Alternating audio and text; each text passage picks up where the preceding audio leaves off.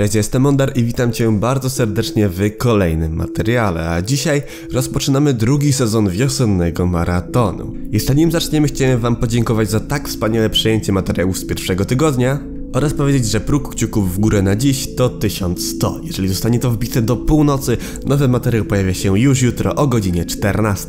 Tymczasem, jeżeli jesteś tutaj nowy, to zasubskrybuj kanał, gdyż dobijemy 70 tysięcy widzów do końca roku szkolnego. Tymczasem, moi drodzy, ja już nie chcę dłużej przedłużać. Proszę, rozsiądźcie się wygodnie i dajcie się ponieść kolejnemu materiałowi z drugiego sezonu serii niepokojących reklam telewizyjnych.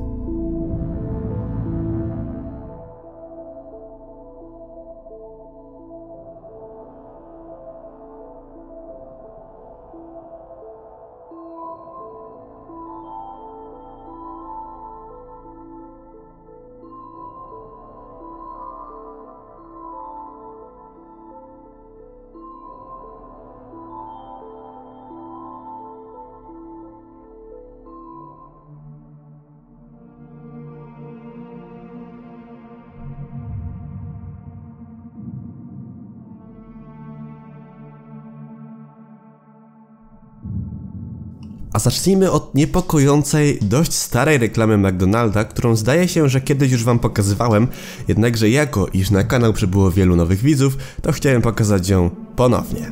Zamysł tego spotu, jego klimat i tym podobne nie jest nijak niepokojący. Jednakże spójrzcie tylko na klauna Ronalda McDonalda. Zauważcie tylko jak idealnie ten spot wpasowuje się w nurt czegoś przerażającego.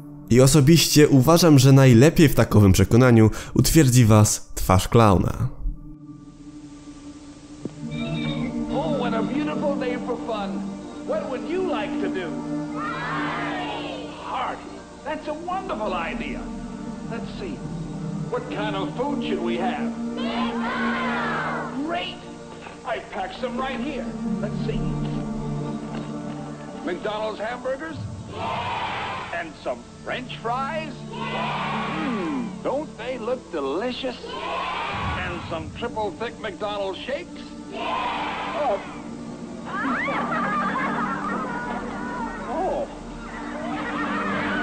Well, we can always make good use of that. Ah, here they are. Triple thick McDonald's shakes. Why, they're empty. Say, you sure can get a lot in these bags, can't you?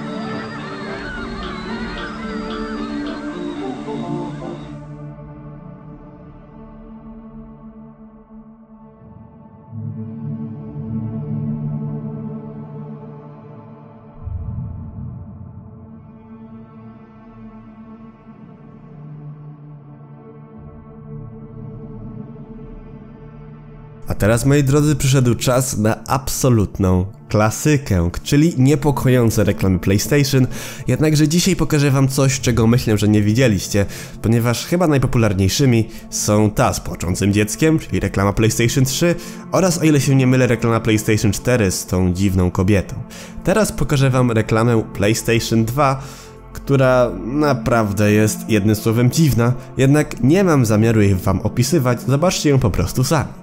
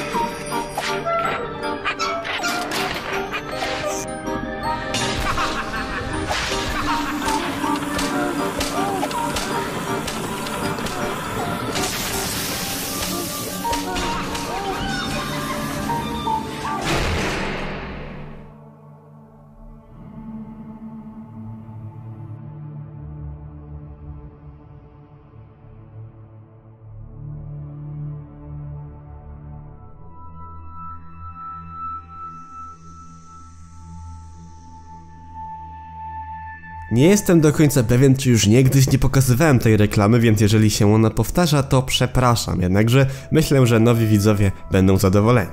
Jest to dosyć niepokojąca reklama pochodząca z lat 60., a sam spot za zadanie miał reklamować dwie lalki piękną Chrissy oraz Velvet. I absolutnie nie byłoby w tym nic niepokojącego, gdyby nie narracja tego wszystkiego oraz dość żałobne zakończenie. Narrator twierdzi, iż jednym z marzeń małych dziewczynek jest posiadanie lalki, której włosy mogą autentycznie rosnąć, jednakże jak sam twierdzi, technologia nie pozwala na takowe rozwiązania.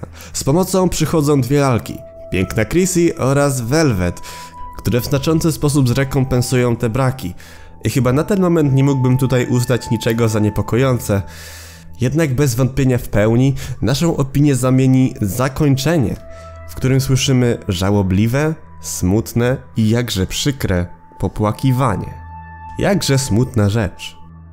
Children have been asking us to make dolls with real growing hair for years now. The only problem is the current technology doesn't allow for that, so we've turned to the next best thing. A voodoo witch doctor named Captain Oogie who can transfer human souls into plastic dolls to give them lifelike characteristics. You can even modify the amount of humanity within the doll using our patented soul knob. Just be aware that these are technically human children and should not be subjected to normal doll treatment for ethical reasons. Beautiful Chrissy and new velvet. They're ideal.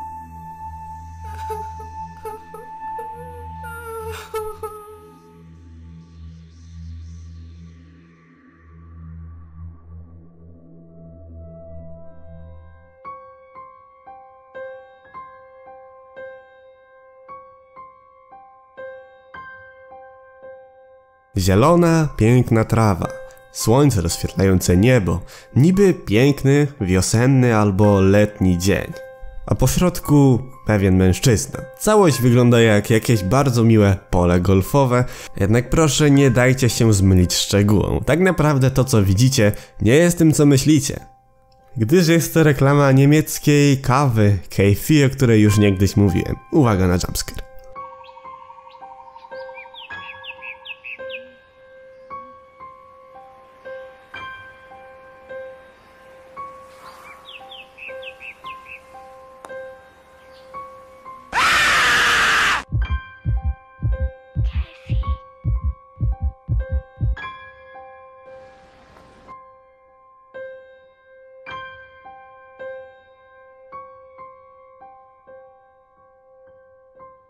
Co widzicie teraz naprawdę bardzo mnie zainteresowało, a zarazem jakże zadziwiło.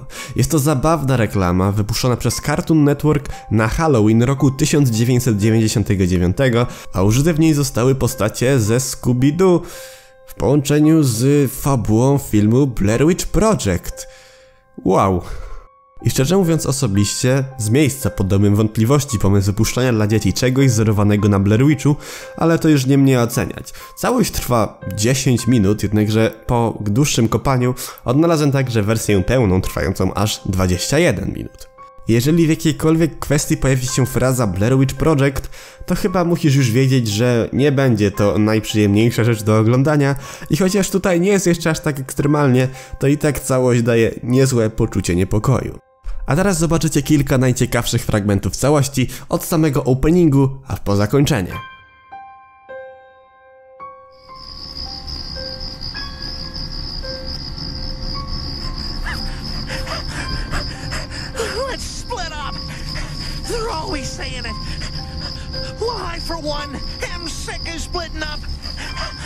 Never helps, and I'm always getting stuck with Velma. Why are Fred and Daphne always heading off together anyway? I'm so hungry.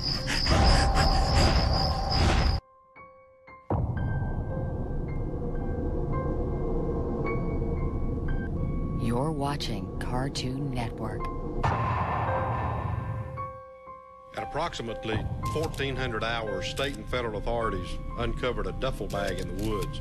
Said bag contains 24 hours of Scooby-Doo episodes. Excuse me, what what episodes? The Spacey Space Kook? Which which is Yes, which? all of them. Will you be releasing them to the public? We'll be showing them in a uh, marathon type situation. What about the whereabouts of the kids? Where are I the kids? I can't discuss that at this time. You'll just have to watch the Have you talked to the marathon. No more questions. Hey, Excuse me, over here. Where are the kids? The public has a right Were to there know. animals in the van?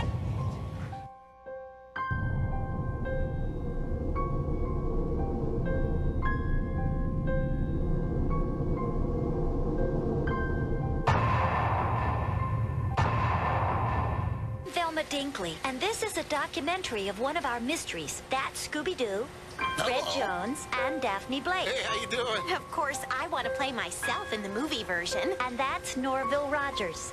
It's Shaggy. Like nobody calls me normal. What's the matter, Norville? That's not on tape, is it? Something wrong, Norville? Norville, Norville, Norville. Very funny. Norval. and to the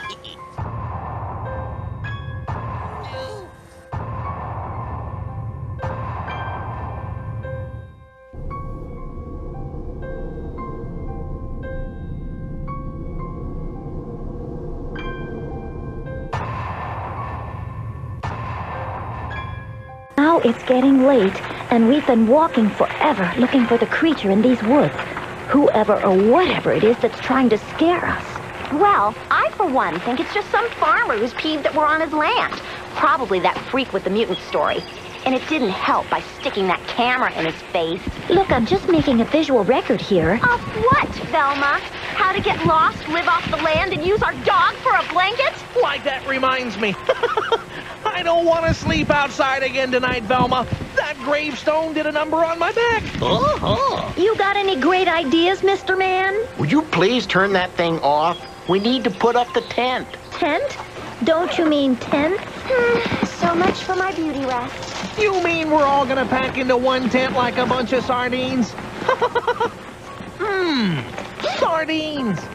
Okay, now we're trying to put the tent up before it gets too dark, so I'm gonna keep rolling in case that spook appears. We've got to make sure we put the tent tarp on.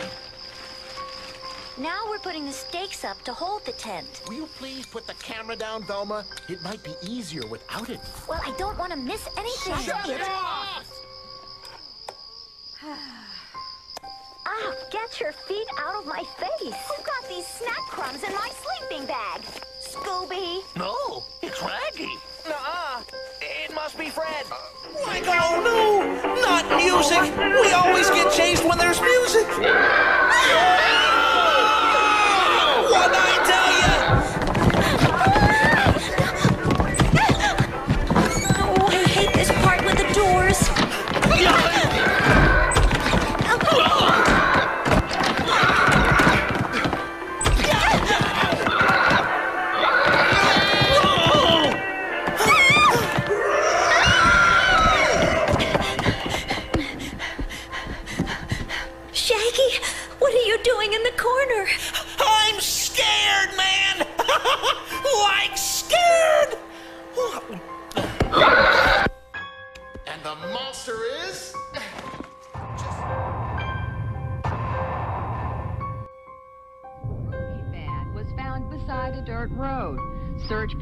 Spent several days searching the woods and found hundreds of Scooby snacks, but no trace of the teenage sleuths have been found.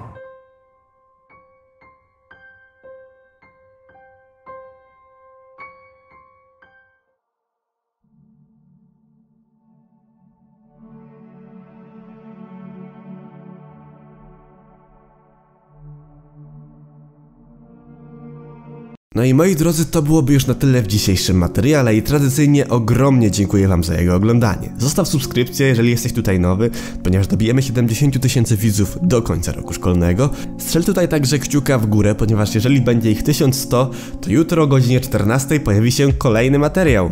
Obejrzyj moje poprzednie filmy, wyczekuj również tych następnych, a jeżeli chcesz mnie jeszcze dorwać gdzieś coś kiedyś w internecie, to zajrzyj proszę na mojego Instagrama, Snapchata, Twittera, a także na mój serwer Discord, gdzie to możesz popisać z wieloma wspaniałymi osobami, a także ze mną. Linki oczywiście w opisie. A tymczasem, moi drodzy, to już tyle ode mnie na dzisiaj, ale jeszcze nim skończymy, chciałbym pozdrowić następujące osoby.